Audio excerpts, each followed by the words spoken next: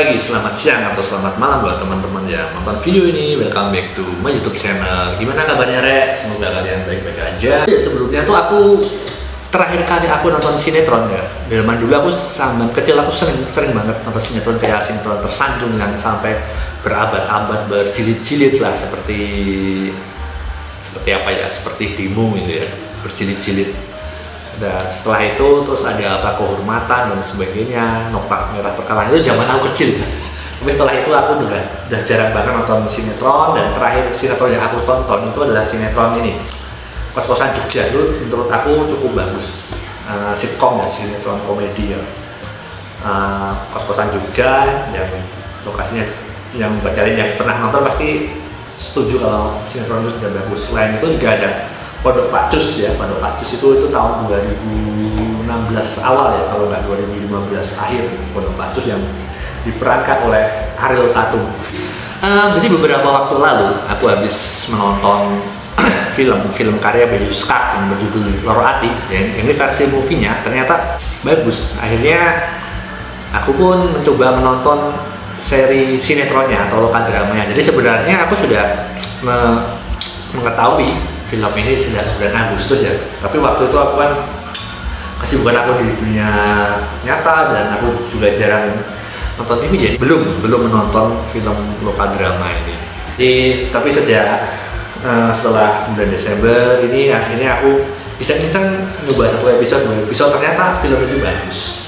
Oke pada video kali ini aku akan membahas tentang alasan-alasan kenapa film atau sinetron lokal drama ini cocok untuk kalian nikmati. Jadi, oke sebelum itu, sebelum kalian nonton video lanjutkan lebih lanjut lagi, silahkan kalian klik subscribe ya. Subscribe dan kalian cukup membantu. Dan buat teman yang sudah subscribe, aku ucapin terima kasih. Oke, jadi langsung aja pada kelamaan. Jadi alasan kenapa aku sinetron lokal drama ini cukup bagus, cukup apa ya, berbobot dari berbeda dari sinetron-sinetron yang pernah aku lihat inilah sedikit alasannya. Lo yang pertama yaitu alasan film Loro Ati ini, lokal drama Loro Ati ini bagus menurut aku. Karena satu konfliknya itu sangat relate dengan kehidupan sehari-hari. Sehari-hari yang ada di sekitar kita. Seperti contohnya uh, konflik quarter life crisis-nya Joko ya sebagai tokoh utamanya Joko. Jadi dia harus dituntut untuk kerja jadi PNS lah sesuai harapan orang tuanya harus kerja di kantoran bergaji dapat gaji tetap dan sebagainya yang yang tidak sesuai dengan passion dan hati nuraninya. Ya itu mungkin dari kita pernah mengalami itu juga. Jadi kerja dituntut kayak gini terus harus kayak gini harus kerja kantoran ya meskipun gajinya dikit yang penting kerja kantoran lah seperti itu. Terus yang kedua itu ada konflik yang uh, dibanding-banding. Ya sebenarnya dari film lokal drama Loro Hati ini jadi yang konfliknya cukup ya seperti aku bilang tadi relate dengan kehidupan sehari-hari kita karena dibanding-bandingkan. Jadi dengan kan dulu anak tetangga udah PNS, anak tetangga udah kerja, kok kamu masih nganggur kerja dan sebagainya. Itu buat kalian yang pernah ngalamin itu pasti sangat relate dengan ya kisah hidup kalian. Terus yang ketiga ada konflik ya percintaan uh, si Ricky dan Mei ya. Jadi ya, mereka berdua ini adalah Tionghoa Cina Cino jadi yang cewek Cina yang super kaya. Bapaknya ya super kaya. Sedangkan yang cowoknya adalah Cina yang hidup di perkampungan yang status ekonominya jauh timpang sekali. Dan mereka apa ya menjalin hubungan yang menjadi pertentangan. Jadi ya seperti itulah pertentangan beda kasta terus yang ke selanjutnya ada konflik tetangga yang julid. Ini juga memberi bumbu di film Loro Hati ini. Aku juga bisa menangkapnya konflik tetangga yang julid dan sebagainya. Nah terus yang paling gokil itu adalah si Cokro ya. Jadi dia dia dalam cerita itu. Si Cokro itu dia um, seorang menantu yang yang numpang hidup di rumah mertuanya dan dia disia-siakan karena apa ya yang tidak di, sesuai ekspektasi mertuanya. Tapi untung aja di film ini si Cokro itu punya istri yang penyayang. Alasannya kedua, kenapa lokal drama Loro Hati ini cukup bagus yang cukup recommend recommended banget karena yang kedua adalah komedinya itu nggak lebay jadi ya jadi menurut aku aku nggak salah satu penggemar Bayu Skak jadi di film Bayu Skak yang pertama seperti Yowis Band 1, 2, dan 3 aku mengikuti mengikuti filmnya. Tapi di film Yowis Band 1, 2, 3 itu komedinya itu seperti dibuat-buat lah. Jadi nggak natural. Tapi di film Loro Ati ini komedinya itu natural. Jadi nggak lebay nggak lebay. Jadi misalnya kalau ada kaget orang kaget tuh hah? Itu atau kan apa?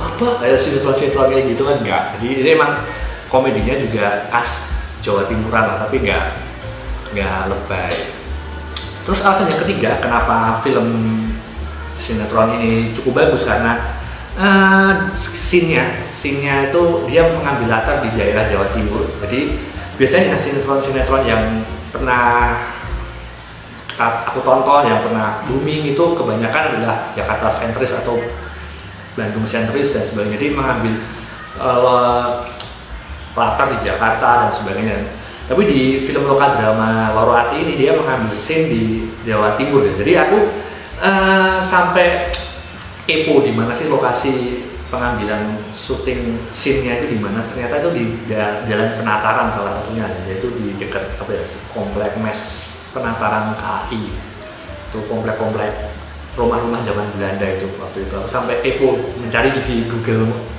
uh, Google Map ya ternyata itu. Jadi scene-nya itu di tempat-tempat yang jarang dipublish seperti di Jawa Timur.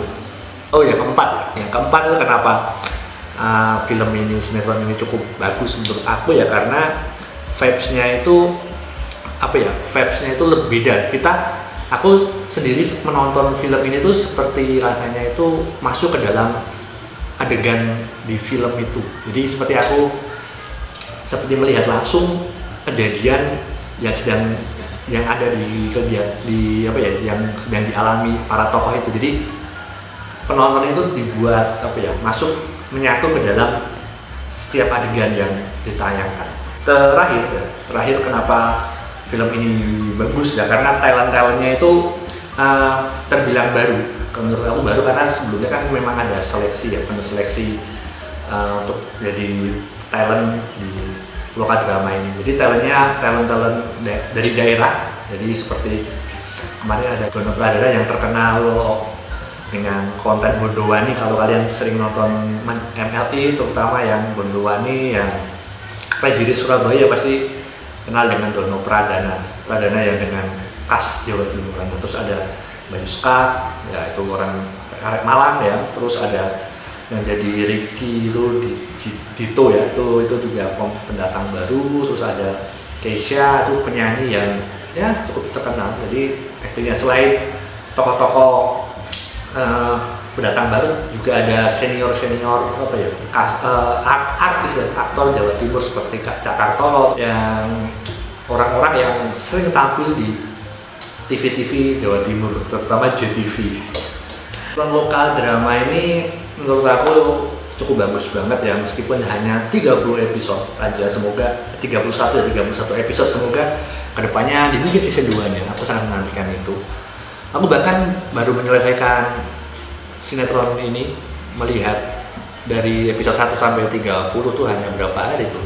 3 4 hari. Dan aku sampai hafal beberapa semua karakter yang ada di lokal drama Lorati seperti tokoh utamanya si Bayu sebagai Jono. Eh kok Jono? Sorry Joko. Joko Fadli Ricky terus ada ayahnya Ricky ada yang namanya Ko Willem. Terus pacarnya Ricky itu ada Mei. Terus ibunya Joko ada Pak Bu Bandi dan Pak Bandi. Terus adiknya yang diperankan oleh Keisha bernama Ajeng.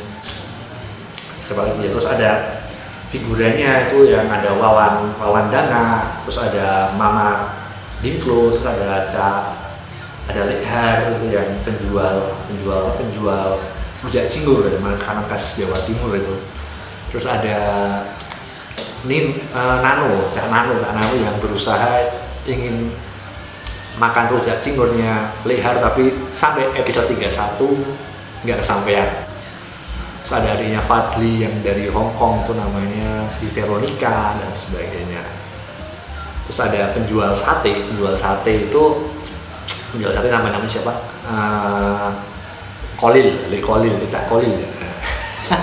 Gue banyak nonton beberapa episode sudah sudah apa jadi emang ya karena emang relate banget lah. Relate banget dengan kehidupan sehari-hari dan kalau jadi sinetron tapi lebih mirip seperti film ya. Mungkin itu yang membedakan uh, sinetron Loro Ati ini berbeda dengan sinetron yang pernah aku tonton. Congrats buat uh, film Loro Ati yang terakhir uh, kemarin sudah ditonton 35 juta ya lebih ya penonton di video. Oh ya buat kalian yang ingin menonton silahkan bisa menonton di platform video ya video. Itu free. Itu aja. Thank you for watching this video. Wisnu Pratama bye bye